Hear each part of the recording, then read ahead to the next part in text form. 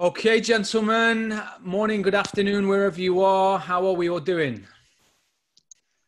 Uh, on the move. Good, great. Mark, I had, uh, um, I, I can't help but notice that you uh, you're on the move. You're a mobile Hmm? podcaster today, looking very tan, by uh, the way. Oh, thank you. Lovely sunny day here in Stockholm. Um, yeah, we're. I've been up early. We've had a long day. We've had a kind of big, really good camp with 175 of our kids, and then um, spread over two football pitches, kids eight to 12. And then we've had some final meetings with, in the club about all the development heads of development and etc. today. So yeah, so I'm just finished that meeting now and just Heading stepping outside, stepping outside into the pod. Uh, oh, and, and, and, and taking a detour to the pub. Yeah, well, it, it could end up that way. Yeah, yeah, yeah. yeah. Um, Britain, how are you, mate? Uh, we're doing well. Just wrapped up tryouts in the uh, the old play pay to play model. Yeah, Like- yeah. How was your week off? What's that? How was the week off? What week off? Yeah, well, the week off from the pod. Oh, oh, I got you. Um, yeah, it was it was filled with uh, lots of lots of discussions with parents. Um, you know, what's in the best interest of their child. And I just said, you know, you want to win a trophy now because you don't know when it's going to come up again. and they don't know how to measure success exactly. Um, Petro, I'm sorry if I didn't say it right. That's as good as it's going to get. Welcome. Um, how are you? Thank you. I'm fine. And I think it's good enough for this occasion. Yeah, The pronunciation. good, good, good.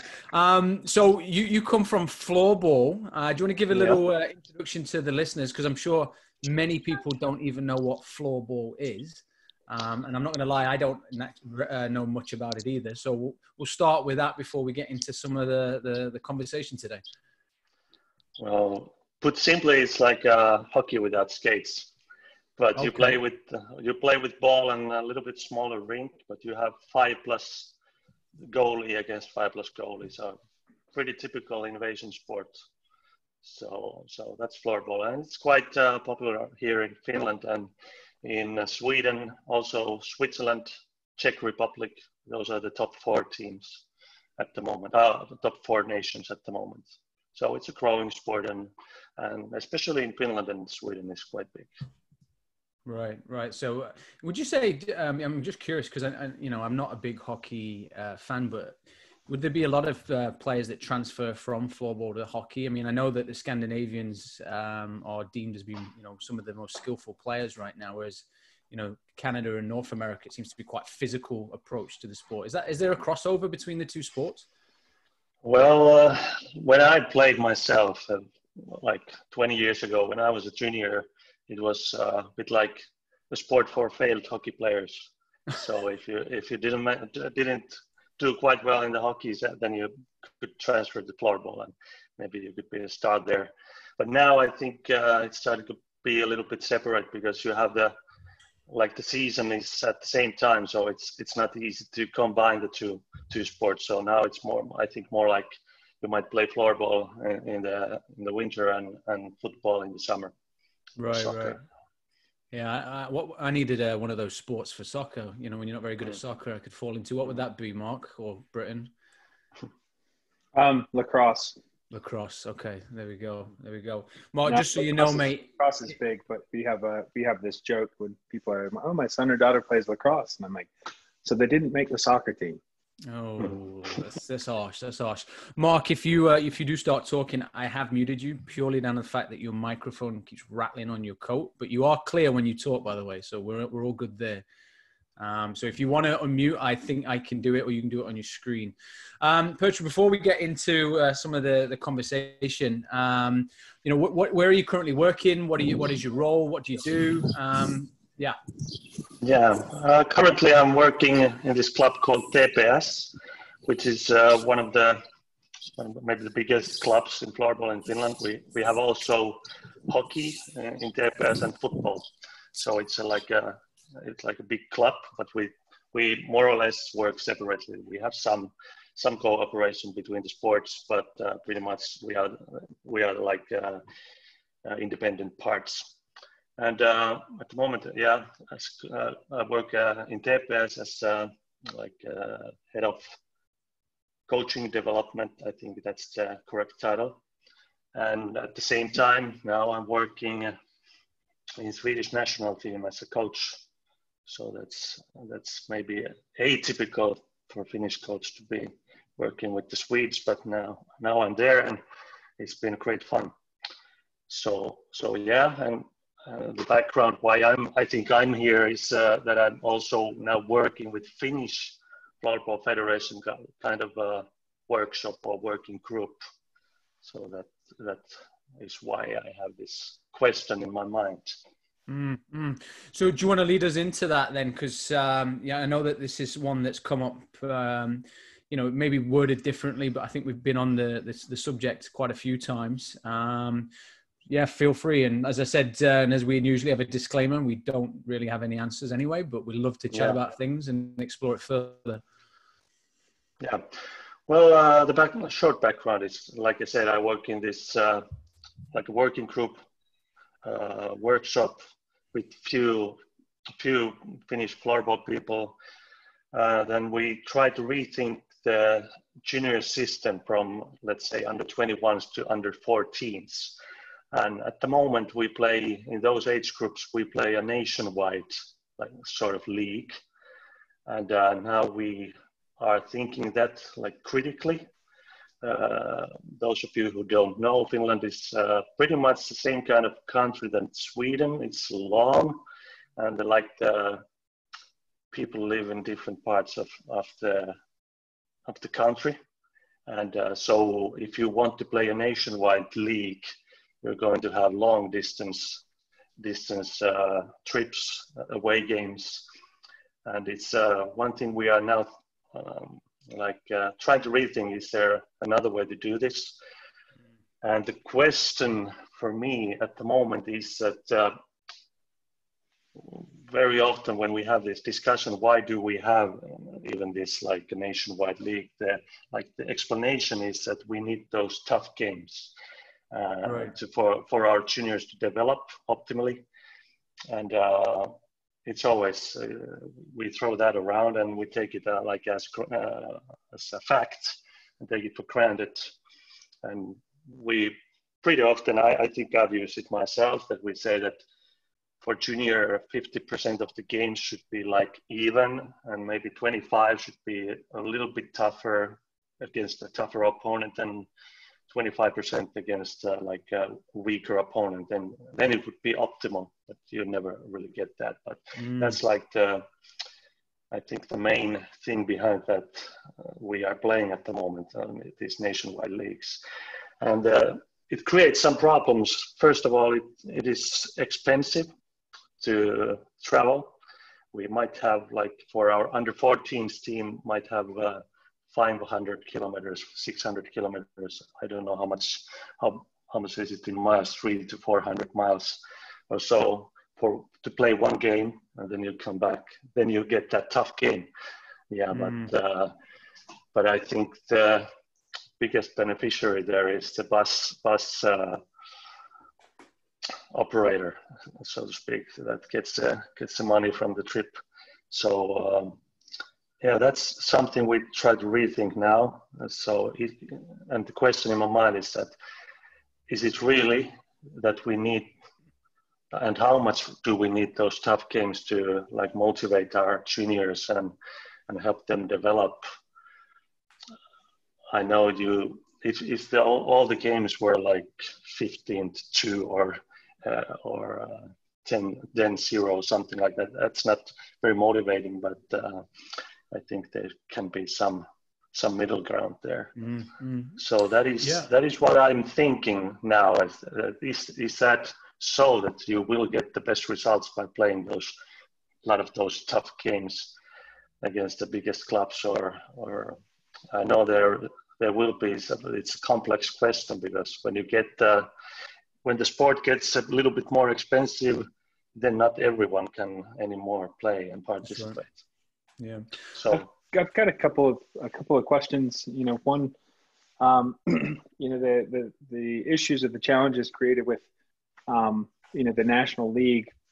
You know, the first part, I guess, would be you mentioned that it, w- it would be ideal for you know 25% of the games to be really challenging and 25% of the games to be, you know, a little bit easier. What is uh, what is kind of the thought process there? Like, why is that uh, ideal for you guys?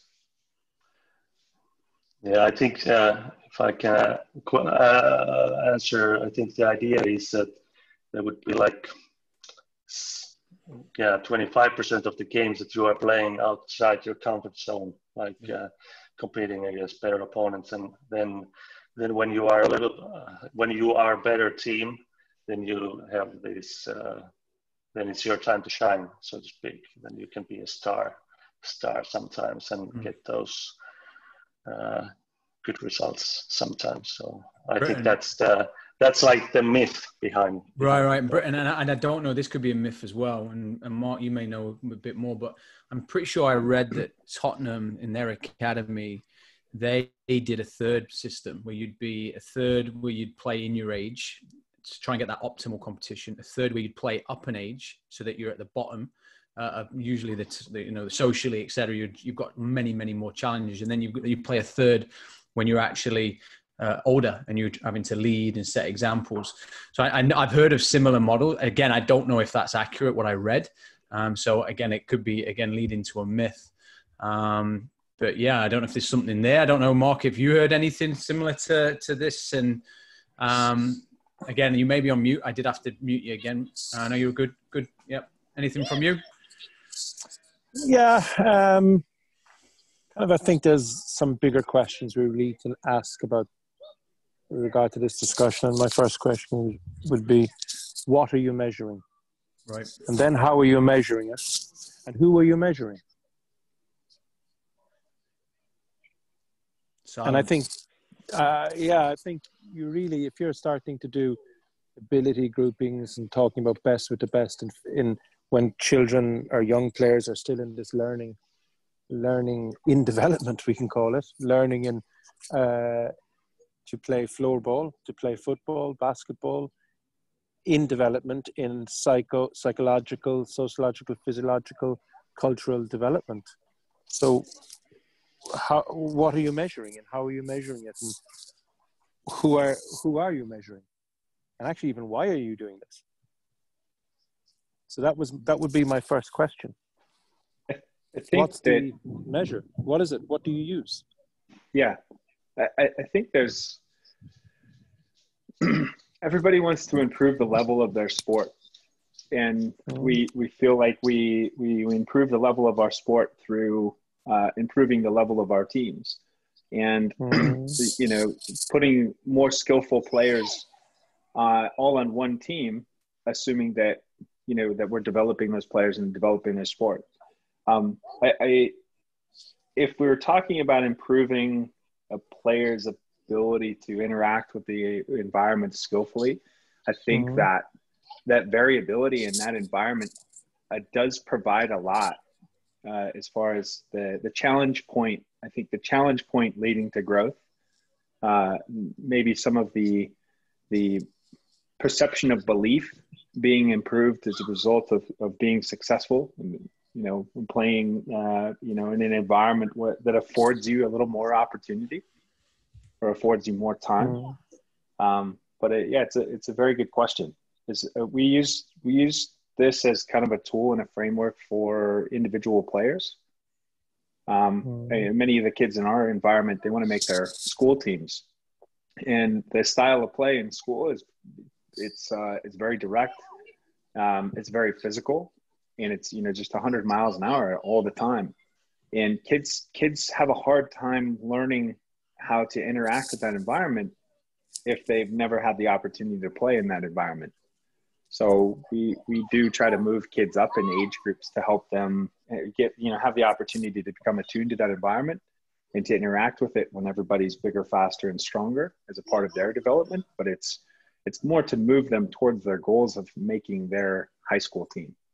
which is you know heavily influenced by culture. But I would I would argue also that the, this is this is the individual's goal. Mm-hmm. Peter, So it's I like- mean, 'cause I- uh, go on, Mark. Sorry, sorry, yeah, because you know, I was doing some good research here done in Sweden about national team and district team selections of players at 15, and basically the result of the research was by, and this is like Swedish uh, Football Association coaches, and the the result from the research was that whatever felt right in the stomach, which was what they were picking on because it Right. felt right.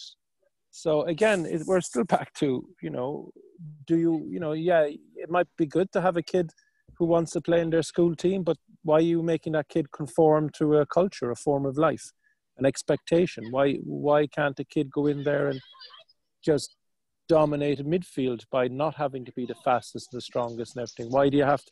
Why can't he be centre back but not be two meters tall?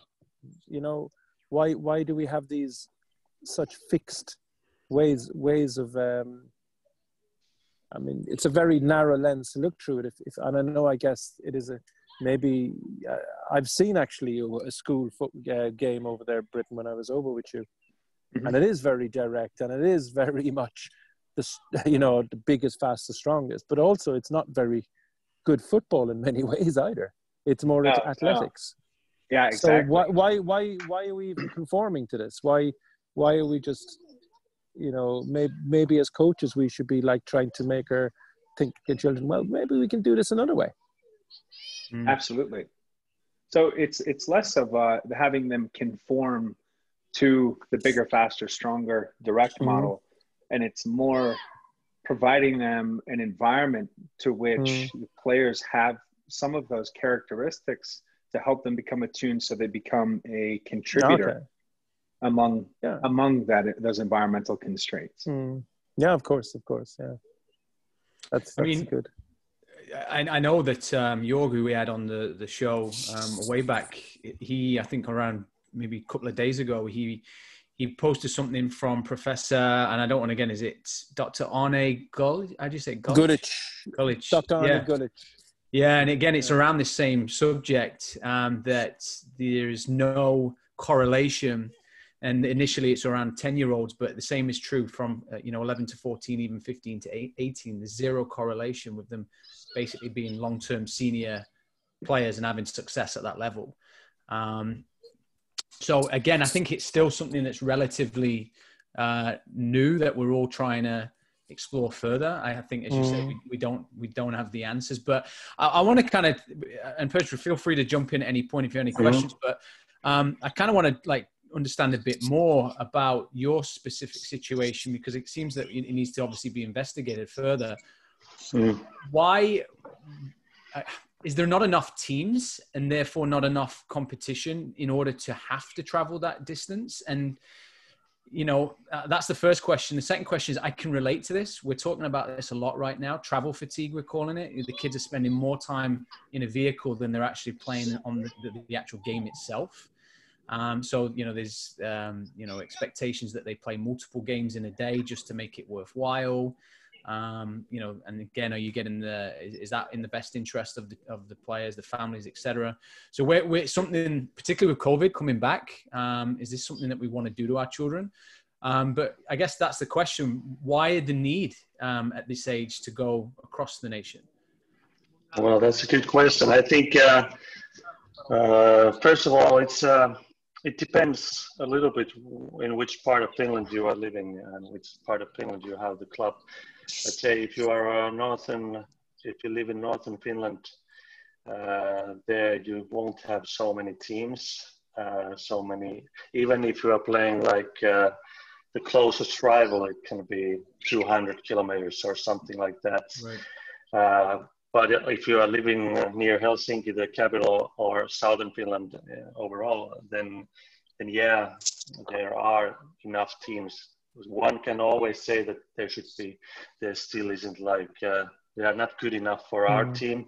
But that's again, it's because it's a complex question because we create this kind of system that uh, when you are under 14, junior team, and when you start to play like a nationwide league for Finnish championship, then you will uh, more or less unintentionally also uh, create a situation where the smaller clubs in even those uh, places where are where more clubs clubs uh, where, where there's more clubs then the players from the smaller clubs will move to the big club mm. and you will lose the competition you would have there because they are moving mm. there because we are playing nationwide league so it's kind of creating its own problems at the same time so so i think it sounds like a level of inc- it sounds like because I know I can relate to this completely. We have the same issue here in Nova Scotia. We have um, a, a community that's similar, about 450 kilometers away,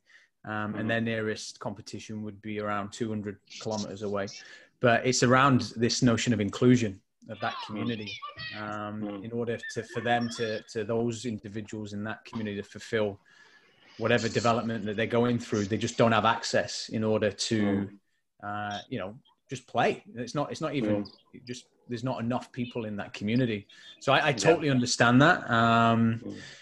Yeah. Is there any? Uh, what are some of the conversations? I guess locally around trying to overcome that. And I mean, um, Britain, you may have the same problem in Utah. We certainly. It's, I think North America would be a. This would be quite common. Yeah, um, I would say that there have been good discussions in this group. First of all, I, I, I raise my hat to Finnish Floorball Federation that we are having this discussion. I think Sweden, which is the, it's uh, Finland and Sweden are the top two top two countries. And in Sweden, you are playing more locally when you're juniors, and uh, it's mm. keeping the sport a little bit cheaper. And you, in Sweden, you have more players. At the moment, uh, Finland has been like the number one in in uh, in men's world championships and, and i think i don't know if there's conversations in sweden if they should do something something similar than finland but i i, I don't know i don't I don't have anything to say about that, but I, I appreciate the conversations we are having in the Finnish Floorball Federation. People are realizing the problem, and uh, we are trying to rethink the system. But uh, yeah, there are some strong assumptions that are still like strong myths that that we but, tell each but other. It, but isn't there a risk that if you are doing this best with the best, even best players, the best players playing against the best teams, a bit early, you're just judging on performance and not learning. Mm. You know, because yeah, exactly. You know that like performance is temporary. You know, it's just. Mm it fluctuates it's short term whereas learning is relatively more per a relatively more permanent change over time so mm. again that's kind of back to my question what are you measuring you know so it's a good question that's and it's, question. it's to navigate the challenge you know are you mm. measuring learning or performance because performance is a hmm. very poor indicator of learning in particularly in in young young people mm. No, and also I, I must add this: that uh, Finland tries to. We have this long-term strategy in Finnish Floorball Federation mm-hmm. that we try uh, try to be the like the biggest indoor sport in Finland in 2028. I think we are number mm. two or three at the moment, and uh, and uh, for me, I think at the moment we are we are trying to na- narrow the pyramid, so to speak, a bit too mm. early now. So, so if we want, if we want to be the biggest, this is not the way to do it at the moment. And, and yeah. we are the leading nation. So I think why do we do this at the moment? Is it is this the time to make it even narrower, or should we still concentrate on growing the growing the like the basic? Like yeah, it's kind of a catch for two. You want to grow the sport, but you're narrowing it mm. as well. Yeah. So like the stand this standard model of talent development pyramid model that is imposed very young. I mean, how is your participation rates at the moment? Uh, what do you mean? Uh, like how, I, I, I, how how how is uh, uh, have you like if you compare with ten years ago or five years ago with young people playing floorball? Yeah, it's clubs, still cool. It's uh, it's like uh, it's still growing a little bit. I think last season was the first season for a long time that it dropped a little bit. So mm. at least we are now creating. Uh, we are not creating growth at the moment, at least, so to speak. So yeah, but you know, the one of one of the one of the one a feature of complex systems is delayed feedback. Mm. Yeah, so the yeah. feedback from this probably won't come for a few years. Yeah. That, Which is these are interesting, you know, because it's yeah. I have to say that that is so prevalent. Um, you know, kind of facing uh, these kind of governing bodies and that sort of thing. Um, you know, U.S. soccer is uh, they want to become the preeminent sport in the United States. Um, but uh, the way that we think about things and the way that we design things again is to mm. try to discover we're trying to discover you know who are going to be you know the top 18 or the top 22 for the national team mm-hmm. and we go about trying to discover who is going to be uh, you know one of the lucky 500 players that makes it into the mls and uh, who are going to be the next uh, you know two players to make it into one of the big leagues in europe and mm. I, I think that I, I, had, I had heard about this many years ago. Um, they called it the bias bias. And the bias bias basically states that to even understand our biases is not to overcome them. And uh, I think there's there's kind of a human there's kind of a human bias to you know see see a skillful player um, and think about all of the possibilities that we can imagine with what if we put all of these skillful players together just imagine what you would have mm-hmm. but then again we cause this problem where there's a lot of there's a lot of inefficiency in the system of travel yeah. and money. And uh, I, I, mm-hmm. think we're not sensitive to the fact that uh, the, the the player is not you know the supreme talent is being defined by you know top 0.001% in the world but they might be an early mature but uh, i mean what we're trying to do is affect challenge. I think we look at you know we want them to be challenged. Well are we affecting the challenge point by putting them on the field with the best players have yeah we, and there's, there's other problems with that? this there's other problems yeah. with this britain as well you're you, you know this motivational long-term motivational questions because you're actually you're actually these players are possibly defining themselves as being the best with the best. Absolutely. Not the, not I, I, and that's the best performers, it's not necessarily the best learners or the best. There, there's a certain right. badge they're wearing that defines them. And that that's kind of a, a ticking time bomb for many young young oh, people as well. It, yeah, it so is. And um, mm. so I have I have uh, the 2010 boys for the state of Utah. It's the Olympic Development Program or the State Select Program, and it's and it's where you know kids try out and um, mm. you know they want additional training these are our more ambitious kids and we're pretty inclusive at the lower ages but mm. when you tell parents that there's no such thing as an elite 10 year old it's like you've taken all of the wind out of their sails I was going to say that. I was going to. I was going to say this. I mean, when this is such a complex, because the parents as well, it, it, they're trying to socially um, through their kids particularly North America, and you probably get this, Britain, be able to rank themselves based on the, the kid's performance. So, mm-hmm. like, my family is like in the top five because my child's the top five performer. Again, it comes down to Mark's point. We simply do not know how to measure participation and the experience of sport. And it's that crystal clear. The parents, particularly in soccer in North America, because it's still a very, very developing sport, even though it's, it's massively played, they don't know how to measure that experience outside of the win and loss column. And we see it all the time here. The amount mm. of times where we see mass migration of players leave one club to go to another club just so that they can manufacture that, that they are the best performers in one team so that they can crush everyone around them. And what usually happens is they qualify for a national event after doing that and they get hammered because they've not had any competition. They've had no, no ability to be resilient because they've all been on the same team. And it's funny, it's, it's, it happens time and time again. And we just keep going around this vicious system cycle. Yeah. Because again, we're not willing to me- really stop and go, how do we measure this effectively? Yeah. And you don't, it, it changes the narrative. Um, mm. So kids don't play because they enjoy the game. because they enjoy the competition. They, there's there's a there's a narrative surrounding you know this uh, this elite development, and it's uh, one of our podcasts. I don't remember which episode, but we're talking about we're we're activating a career, right? Yeah, but I, I mean the cultural the, the cultural influence is so strong, and you say you know we think about all the podcasts that we're talking about and and the level of thinking among the people that have been here. And it's heavily heavily nuanced mm.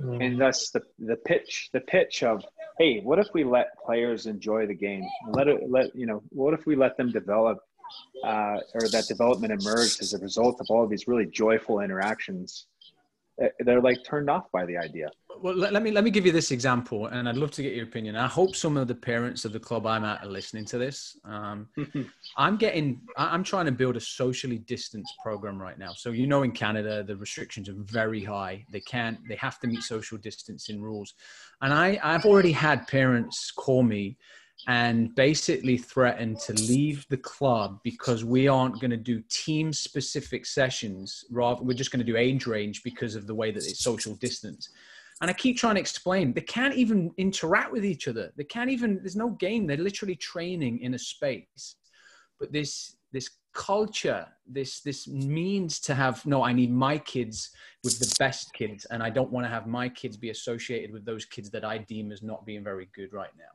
it is madness. It's utter madness. Um, yeah, I mean, that, that, and this is socially distanced programs. I mean, you're talking about interacting Britain within the normal confines of how we play the sport. We can't even interact, and they still want to be divided and separated into levels. So yeah, I think our, our structures, um, our structures have emerged as a result of our thinking as a society. We've we've built them and yep. in some cases where you know where we're failing is um, it, it's kind of exactly what we deserve because we built it but uh yeah i don't know Go, going back to going back to the national teams and and that sort of thing um if if we're hoping to develop the sport and we're hoping to get people excited and engaged in playing um i think there's there's naturally just a lot of draw to this kind of elite uh, this idea of, of travel and that sort of thing. And that's, uh, I think, perpetuated by you know, professional systems. From who, though, Adults. From who? Because I think with now, I think it's key. If you ask the kids, that's one thing they don't miss. They actually don't miss sitting in the car and in the bus for hours yeah. and hours and hours. Yeah. Um, they, they, just want to get back and play. Um, mm-hmm. They just want to be with their friends. You know, like at the at the younger ages, particularly. Um, I, I would question that they don't want to travel. I think that's a question we need to ask then. Um, I think that I see some kids not loving the car, but the idea of being on a travel team comes with some prestige. Mm-hmm. That it's that it's very yeah. It, def- it defines them. It's their badge they wear, and as I said, that's yeah. just a tick. That's just a ticking time bomb, psychological yeah. ticking time bomb. Yep. It is, I think. I think I'd like. Yeah, I mean, yeah. Of course, I mean, if if if if if you've just got a system, if you just built a system that celebrates itself, then that's really really hard. You know, that's where we go back to this thing about if you're if you really are looking to um, reconceptualize youth sport, you've got to start with investigating your own environment, your own culture, your own form of life. So you got to start there first. You got to understand that. I think, like with Perth, Perttu's um, question, it's, I mean, Finland. I'm I'm living in Stockholm, so it's just across the water, you know. So uh, it, it is very a very culturally defined decision, probably of talent development, but maybe also something that hasn't looked. Maybe they. I'm just wondering how much. How have you investigated your own culture, your own environment, your own way of living in in these different communities? Because as you know, Perttu, like you know, communities that live in Stockholm are not the same as the communities that live up, way up in the north yeah. of Sweden and Jokkmokk and places like that, you know. So it's almost like different cultures. So what have you been doing to investigate these cultures, how they're thinking, how their sport culture is, what they think, what they need, what their needs are, what facilities they have, you know, do, you know, how, what have you been doing? The answer is uh, pretty simple, not enough but one good thing again, uh, uh, raise your hat for Finnish Federation now. We are going to ask the players, the players who are playing the actual game, why they are playing and what do they think about the traveling and and have they been tired? Have they have they seen their school uh, deteriorating? And uh, then we will ask the parents also that uh, how they see the situation. Also the coaches and like the team leaders. So we're going to have uh, at least a good try with this. So the will, will like, you be uh, taking the socio socioeconomic uh, factors of individuals into this these these questions? Well, there's not that kind of I think question. I think they'll influence. I think they could influence the answers. Yeah, that's true. And and at the moment, it's it is at uh, like the eastern part of Finland. Mm. Is it's it's sort of uh, it's maybe the economic possibilities there are a bit a bit lower a bit lower. Mm. Uh, the distances are a little bit uh, uh, longer also. Uh, and uh, we we see now that they are like getting out of the train at the moment. Those have been like some some Eastern Finland mm. clubs have been like the first ones who really have done like a good job like 15 years ago or something like that. But now they are not able to compete because not so many people are living there. Uh, uh they have to travel a lot. They they uh, don't get the same chances. So so we are missing that, uh, and we are now creating this that you you really need to live in a big big city or bigger city to get the opportunities. Migrant populations. Hmm. Yeah, that, yeah. That, that's that's really interesting. Yeah. It's uh I guess I guess when we're when we are investigating when we're evaluating we, we have to understand that there's the you know we we always have these intended benefits um, and maybe neglect some of the costs associated mm. with it and for a really balanced perspective just trying to be and and, and, really and Britain, some of these costs some of these costs don't appear until far down the road mm. yeah yeah which which I mean to the to the to the human eye in in a lot of our culture where we're we're used to things being instant. Um, the future mm. the future is not something we really consider. It's almost not real.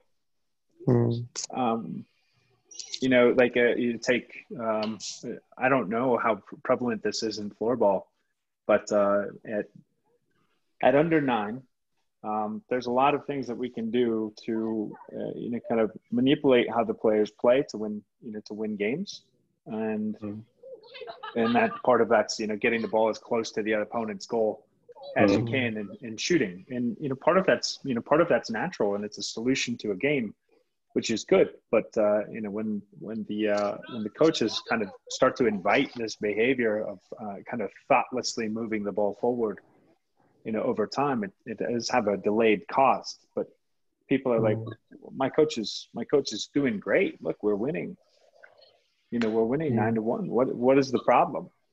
Mm. So yeah, we get that too. We get that too. Absolutely. Yeah.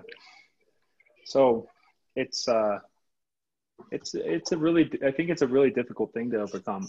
Mark Mark is Mark and Dennis have uh, have been, you know, just conversations is probably the most powerful tool that we have. Yeah, interaction. Conversations, yes, yeah. and you know it being interactive we can we can say that it's you know it's bi-directional learning really mm.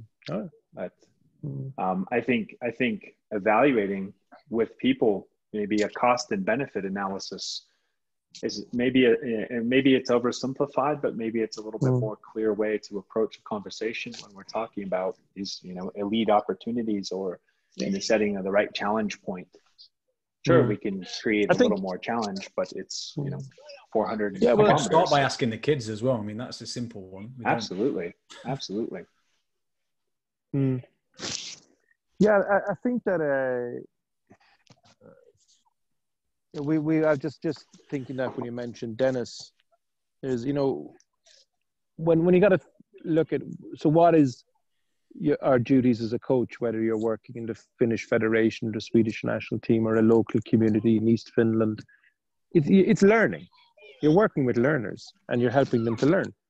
You're helping to learn to play a sport and develop as people within the sport, together with some friends in a community. Mm. And and really, you can just say it's a learning environment, a learning space, and anything that distracts you from that should be just ignored. I think. If this model we're putting in is distracting us from learning, but it's got flashing lights, it sounds great, and gives us a very quick return, then it's not worth working with because it's distracting us from what we're doing. So if right. something is distracting from learning, don't don't do it. And the other thing as well is I had a friend who who who works in football and lives in a kind of a small rural community, and he's asking me it's similar. How do we get to you know we need to play a better opposition? And I said, you know, because of your geography ge- geographic constraints, if the best games and the best opponents you can meet are in your own training session, that's great. You know, make your training session. Make sure that your players meet their best opponents in their in your training sessions. That's a good learning environment. Totally. So, what distracts your is what is distracting our focus in the learning in it? And often for me, it's a lot of these gimmicks, these toys they put out in the market, these gurus selling stuff. Um, we have to do it. Remember, I love like we have to do it like the Dutch, or we have to do it like the Croatian. We have to do it this way, that way. But that's just all distracting us from what we're working with. And Jason and and Jorg and uh, Jan and J- in Jason and Canadian FA, Jorgen Jan and Dutch FA were very clear about this as well. You know, don't copy and paste these things, but that's because that's a distraction as well. Right. And we, you know, in Canada, you know, all these fo- fantastic football schools set up by top clubs recent, you know, in the last few years to, that were, you know, charging a lot of money, sucking in players from communities and killing off local clubs. Where are they now? They left the club, they left the country the minute COVID turned up. Exactly. Because it wasn't profitable anymore. That they were just noise. That's all they were. They were noise, distracting us from our duty and our work and, and what we should be really doing. And I think the the challenge, I think particularly North America is very franchise, you know, based system, isn't it? I think there's just a lot of noise, um, and it's. Yeah.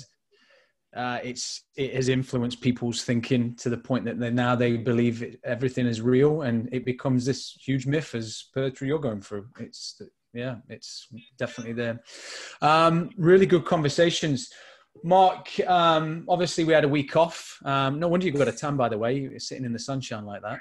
I am, yeah. you need you, you need some shades, buddy. Um, a lot of people. I don't think the um, future's that bright. Um, a lot of people contacting you and just having some uh, questions, particularly around the constraint-based framework. Yeah, I've been seeing a lot of stuff about constraints-led approach, a lot of discussions on social media and for some reason, people think it's a model, and it, it's not. And I think maybe in the future we should do a podcast just kind of clarifying a few things, uh, what what it is, etc. Because it's been so many misinterpretations of it, and because if you utilize it as a framework for understanding um, human uh, the emergence of human coordination and development under constraints, it's a really powerful framework to a lens to look through learning in development. But the danger, so, but the danger is it's becoming distracting because people don't understand it. Yeah, and it's uh, it's becoming. People are saying it's a model and looking at it as a model. It's not right. a model. And you know, and the uh, you know the only model for the human system is the human system itself, anyway. So, so it's like, so I think we could do something in that, and yeah, uh, maybe in a few weeks I'll uh, maybe prepare or something and might get might even get Rick Shuttleworth on or even Keith Davids on to just and we can just deep discuss because I've seen some stuff presented recently and it's you know and the thing is also it's it's kind of funny I don't mind people supporting CLA as long they know what it is and, and then it should be it should be a it should be a framework that's criticized, but it's actually presented as a model and criticized as a model. But then it's been criticized by people that don't understand it. Right. So yeah, I'm and I'm all for discussion. I've had some really healthy discussions with some colleagues, you know, that have good, worthwhile critiques, but they understand that it's not a model. So, but we can get um, into that some other time, you know. I was just going to ask you quickly what uh, what is the distinguishable difference between a framework and a model? Well, we use we in in our work, Dennis and I, we we look at the idea of a framework as something being flexible, a more flexible framework. Mm-hmm. You know, you have player development models, which is the standard model of talent development. But at AIK, we're trying to develop a player development framework that's flexible and sensitive to to to, to individuals in social cultural contexts. Mm-hmm. So that's it. That's how we're working. Dis- distinguish your model, and you know, as I said, I still think the, the the only model of the human system is, is the human system itself. Mm. So that that's that's how we work with it. So yeah. the model, but maybe, the model in a sense would be like more of a prescription, uh, prescribed approach. Yeah, but you know, there's good models as well. I'm not saying it's bad, but it's just presenting constraints-led approaches a model is is just and and then supporting or criticizing it maybe just means you don't understand what you're supporting or criticizing. Right you know and that's the way i look at it and it's it's it's a pity because it's such a powerful lens. It's just another theoretical lens to look through through through what we work within and it's you know i find it very powerful and useful. Some people might but that's that's fine. But um i don't know. Perttu, what do you think? You have any input you're, the, you're the researcher but yeah i've been using this i i thought that maybe the way i've used it is like a it's one tool for me to use mm. during uh, with my team. Uh, I can use it. Uh, I always say to the coaches that I like try to explain this that they they sort of try to think it through themselves that if, mm. if I do this and I will get this result. But I try to explain that that's not that's like the wrong way to do that. You create some you create some let's say you create some constraints and see what happens. Mm, uh, how no, players no. react and, and then uh, then you get an idea but you you can't like uh, draw a map from it. No.